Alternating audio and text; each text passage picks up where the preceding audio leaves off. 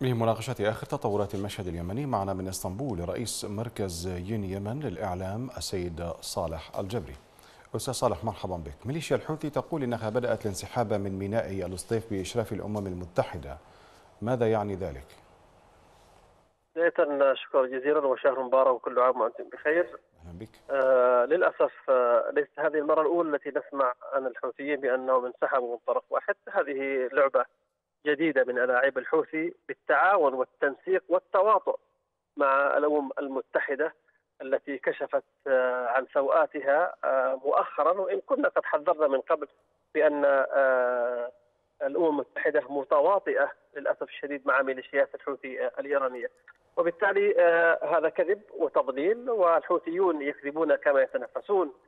وما زالوا يعني يحفرون الأنفاق منذ أكثر من عام منذ أن توقف التحالف العربي للأسف الشديد من التقدم نحو مدينة الحديده فهذه اكذوبه ولعبة جيدة ولن يتغير شيء في الميدان لأن هناك تواطؤ واضح من قبل الأمم المتحدة وأيضا للأسف الشديد الضعف واضح أيضا من قبل الشرعية في عدم الحسم العسكري في مدينة الحديدة. كيف يمكن أن يكون أن يكون ذلك يعني تواطؤا ربما بحيث أن الأمم المتحدة قالت إنها تشرف على العملية وتؤكد ضرورة اتخاذ إجراءات ملزمة للطرفين.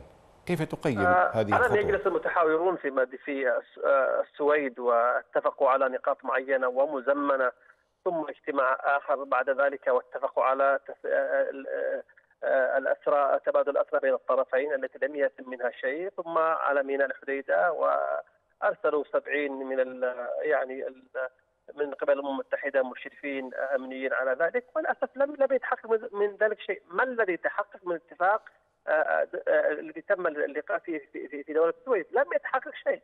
لم يتحقق شيء إلا أن فقط زاد الحوثيون توسعا في مدينة الحديدة وما زال الجيش الوطني متمسك في اماكن التي يعني ثبت فيها قبل توقف الحرب في مدينه الحديدة عندما التقى المتحاورون على طاولة الحوار في دولة السويد. وبالتالي لم يتقدم شيء. هذه أكذوبة. الحوثي يتكلم في في مدينة الحديدة أنه يعني من بشكل أحادي ويتقدم في مدينة الضالع نعم. و... في هذه النقطة الحكومة اليمنية أكدت أن أي عملية أحادية لإعادة الانتشار في الحديدة تعد تحايلا على الاتفاق يعني ما المانع من مشاركة الحكومة اليمنية في إعادة الانتشار؟ لأنه وجدت تكا يعني كذب واضح من قبل الحوثي ومن قبل الأمم المتحدة يعني تصور في آخر زيارة للمبعوث الأممي للأمم المتحدة إلى اليمن. استلم يعني هدايا من القيادات الحوثيه، هذه الهدايا عبارة عن عن أشياء أثرية ثمينة خاصة بالشعب اليمني. يعني هناك تهريب للآثار اليمنية والتحف اليمنية. وهذا يدل على الضحك واللعب على الشرعية وللأسف الشديد وإضاعة الوقت. من أجل أن يتوسع الحوثي أكثر ولا أدل على ذلك. ما الذي جعل الحوثي يتقدم الآن في بعض المناطق في في في مدينة الطالع والتي كانت بايدي الجيش الوطني لأن هناك أيضا ظهر تواطؤ من قبل المجلس الانتقالي في المحافظات الجنوبية المدعوم من قبل الإمارات العربية المتحدة. هناك للأسف ضعف من قبل التحالف العربي وكأنهم راضون بهذا بهذا بهذا التواطؤ وبهذا التقدم من قبل ميليشيات طيب. الإيرانية أستاذ صالح وزير وزير الإعلام اليمني وصف عرض الحوثيين إعادة الانتشار في موانئ الحديدة بغير الدقيق كيف سينعكس هذا على الأوضاع الميدانية من وجهة نظرك؟ ليس أمام الشرعية إلا الحسم العسكري، دعونا من التنظير يعني لا يجب على الحكومة الشرعية ان تتكلم عبارة عن تنظير وكلام في الهواء. إذا أرادت أن يقف الحوثي عند حده وإذا أرادت ان أن أن تقف الأمم المتحدة وتكون بشكل محايده ووسيط نزيه وصادق على الحكومة الشرعية والتحالف العربي أن يكونوا جادين وصادقين في الحسم العسكري ويبدو أن الإرهاصات والمؤشرات تقول ذلك بدليل أن الرئيس عبد الرب منصور هادي ونائب رئيس الجمهورية رفضا أن يقابل المبعوث الأممي.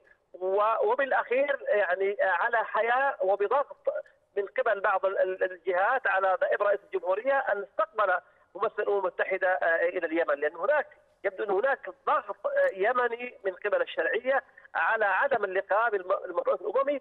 وأنه لم يتم الالتزام بأي اتفاق أو بأي نقطة من نقاط الاتفاق الأخير الذي حصل في دولة السويد. طيب. كيف تقرأ يعني تصاعد حدة المعارك في محافظة الضالع؟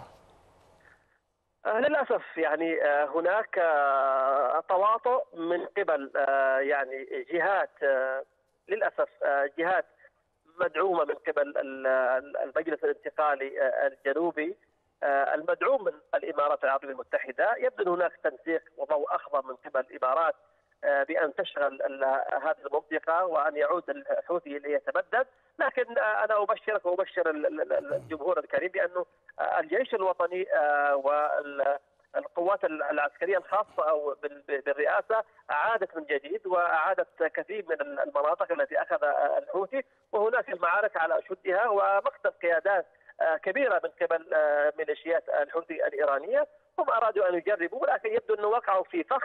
ويعني خلال الساعات ان لم تكن الأيام القادمة ستعود سيعود الحوثي إلى الوراء ويظل مثل ما كان قبل إلى إلى قبل سنتين مدافعا وغير مهاجم، الحوثي لم يهاجم إلا هذه المرة قبل أسبوع أو 10 أيام فقط وإلا من خلال السنتين الماضيتين أصبح الحوثي مدافع ومنهزم ومتراجع، لكن أنا أشد وأقول أن على الشرعية أن تكون جادة وعلى التحالف العربي أن يكون صادقا مع الشعب اليمني في تحرير اليمن من أيادي الميليشيات الحوثي الانقلابية. نعم من إسطنبول رئيس مركز ين يمن للاعلام الأستاذ صالح الجبري شكرا لك.